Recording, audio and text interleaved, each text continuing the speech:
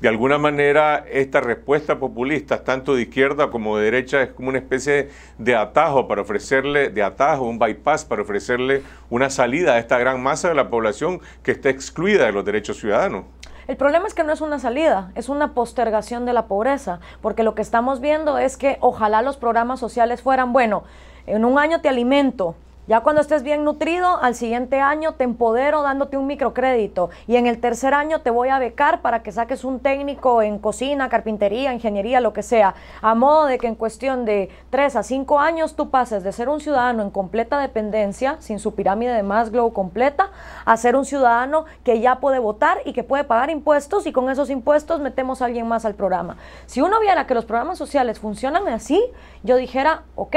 ahí sí se está sacando a la gente. El problema es que no es salida, porque cada cuatro años vemos las mismas bolsas, la misma manipulación y a la conclusión que hemos llegado es, como yo dije en el discurso, que el populismo ama tanto a los pobres que los multiplica porque es su masa de votantes.